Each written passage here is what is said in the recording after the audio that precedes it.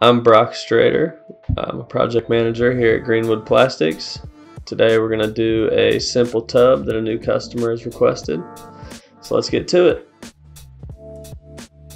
The base of this tub is a 10 by 10 square. So I'm going to start off by drawing a 10 by 10 wireframe here. And that will be the base of where everything is extruded from to make the solid. Put it into an isometric view so that I can grab it and extrude it upwards. The tallest dimension of this is 8 inches. It's actually slanted in the front, so I'll extrude it up 8 inches to get that tallest dimension. Now I've got a 10 by 10 by 8 cube. I gotta add a draft to it, which makes the top wider than the bottom. Uh, that allows it to release from our mold when it's thermoformed. And then the uh, the front of this is actually going to be six inches high, where the back's eight inches. So I'm going to cut a triangle out of the solid to uh, give it the six inch dimension in the front.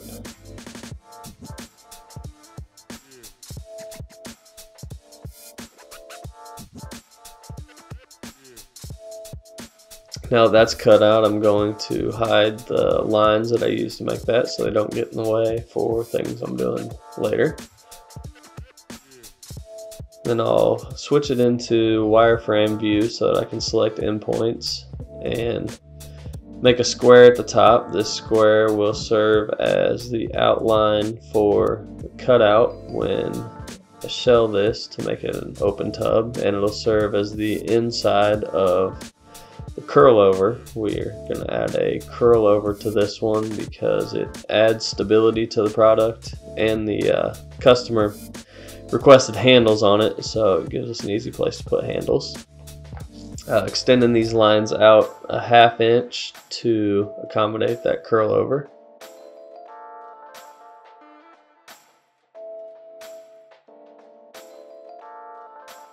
I'll add another half inch to the two sides where I'm putting the handles on so that the handles are in there.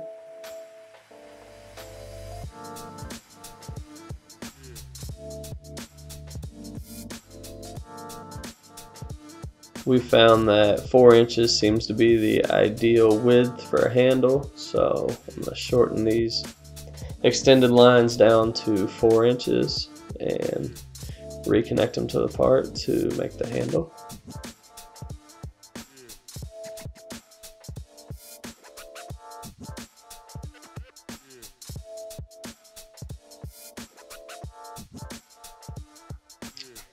Angling these lines where the handle reconnects because for thermoforming you don't really want to have any 90 degree angles. Everything needs to be filleted or chamfered.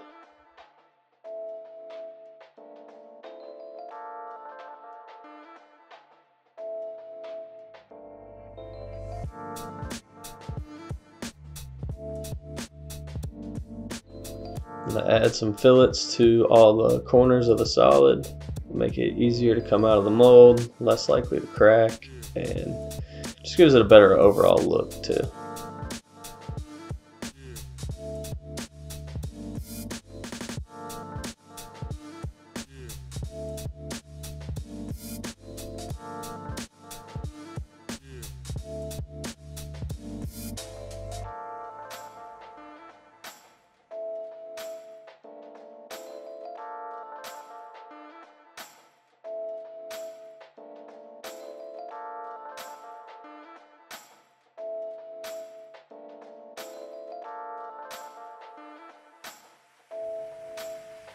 So now that all the sharp edges are filled in and rounded, I'll shell out the solid to turn it into a tub instead of a solid block.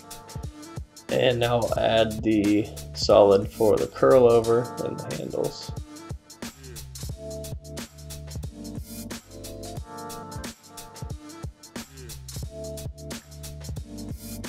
Now I'll go under the curl over and shell that out as well because with thermoforming everything starts as a flat sheet. There can't be anything that's thicker than another part. It can't be solid there, it wouldn't, wouldn't form.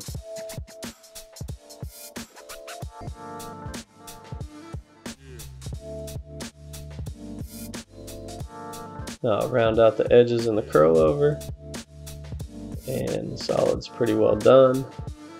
I'll hide all the wireframe in there so that it's just a solid part.